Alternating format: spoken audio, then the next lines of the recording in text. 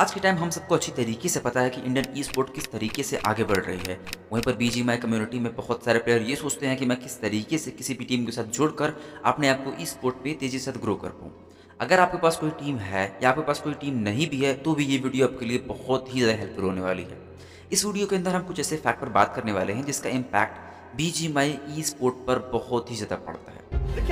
NTD Gaming इस beautiful trophy को और दिखाएगा। Yeah! Pass on the trophy. Ekansh, thank you so much for doing the honors. Fist bump. I can understand what you're feeling right now, but To rule and he's ruling as godlike gets a brilliant winner with a chicken dinner for themselves. यही देखना था आपने आज हम इस बात से इनकार नहीं कर सकते कि ई स्पोर्ट के अंदर बहुत ही ज़्यादा कंपटीशन है अगर इस कंपटीशन में आपको अपने आप को सर्वाइव करना है तो सबसे ज़्यादा इंपॉर्टेंट चीज़ है कि हमारे अंदर कुछ अलग बातें होनी चाहिए आप बहुत ही अच्छे प्लेयर हो, आप बहुत ही अच्छा को खेलना आता है, लेकिन ये मैटर नहीं करता।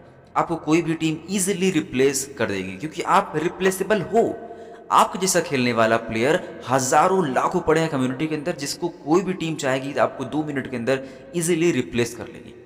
तो अगर आपको कम्युनिटी में सर्वाइव करना है तो आपको क्या चीज़ें करनी चाहिए, ये बहुत ज़्यादा इंपॉर्टेंट है।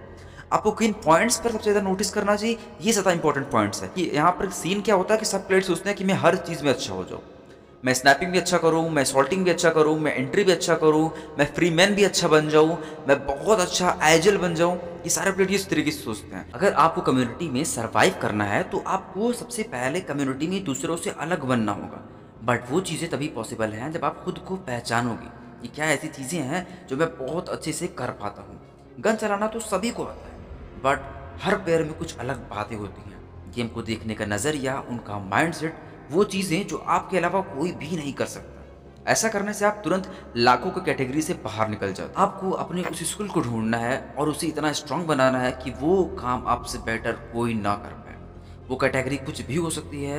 आपका क्लोज रेंज आपका सपोर्टिंग आपका फ्री मैन आपका आई जेलिंग आपका माइंडसेट आपका टीम के साथ अच्छा बॉन्ड ये कुछ भी चीज़ें हो सकती हैं जिस कैटेगरी में आपसे बेटर कोई भी प्लेयर ना कर इन सारी चीज़ों में पता कॉमन क्या है? इन सारी चीज़ों में कॉमन ये है कि हर प्लेयर गन चला ही लेता है। लेकिन उसके अलावा ये चीज़ें, ये पॉइंट्स हमेशा आपको और प्लेयर्स से अलग बनाती हैं। अगर आपको फ्यूचर में ई स्पोर्ट में अच्छी तरीके से सर्वाइव करना है तो आपको हमेशा स्मार्ट सोचना होगा। आपको हमेशा प्रिडिक्टेबल सोचना होगा। आपको हमेशा अपने फ्यूचर को प्रिडिक्ट करके चलना होगा कि क्या हो सकता है फ्यूचर में। मैं अपने आप को किस तरीके से ग्रो करूँ कि फ्यूचर में मुझसे अच्छा प्लेयर ना बन पाए। आशा करता हूँ कि आपको मेरी समझाने का मोटिव समझ में आया होगा। अगर आपको मोटिव समझ में आया होगा तो प्लीज़ वीडियो को लाइक करिएगा, क्योंकि मैं हमेशा इसी तरीके से वीडियोस लाता रहता हूँ, जिससे कि आपको बहुत ही अलग नज़रिया मिलता है ई स्पोर्ट को देखने का। फिर चलता हूँ, लौटता हूँ न्यू वीडियो के साथ।